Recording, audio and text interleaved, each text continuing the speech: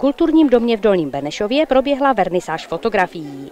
Že my jsme si na dnešní páteční podvečer připravili vernisáž výstavy fotografií Marka Bryše, kterou jsme nazvali Zvýšky. Zvýšky proto, protože Marek fotí dronem. Autor Marek Bryš nacházel inspiraci ve svém okolí, ovšem pozor, originálně z ptačí perspektivy. Tak inspiraci mám tak různě, co vidím pěkného, pak dronem vyfotím. Vernisáž zahájili ti nejpovolanější. Ono je tomu tak asi dva roky zpátky, kdy se na sociálních sítích začaly objevovat úplně krásné, opravdu nádherné fotky, nejenom do Benešova a okolí. Uh, takže začali jsme pátrat a vystupovali jsme právě Marka Bryše, který je z Kozmic. Uh, seznámili jsme se s ním, uh, začali jsme spolupracovat, už jsme spolu udělali i knížku, dneska je to výstava, dneska právě máme vernisáž. To vystavuju 30 fotek zhruba a pak tam bude ještě video na televizi.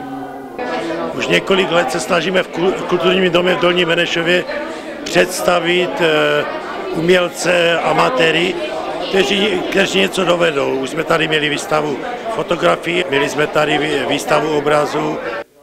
Následně se ujalo slova, tentokrát hudebního, oblíbené hudební seskupení Bosobos. Pokračujeme vlastně s, s posazením u vína s kapelou Bosobos, takže to bude takový pěkný podvečer a večer. Já si myslím, že si každý přijde na, na své a že dokáže ohodnotit tyhle ty opravdu krásné fotky, které Marek v průběhu těch dvou let nafotil. Výstava obsahuje na tři desítky obrazových snímků, zejména pohledů na město. Zástavba i okolí jsou zachyceny v různých denních a také ročních obdobích.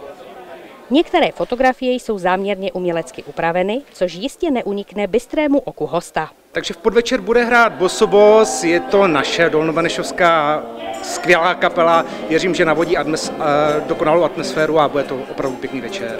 Výstava potrvá do 6. kalendářního měsíce. Výstava bude do 36.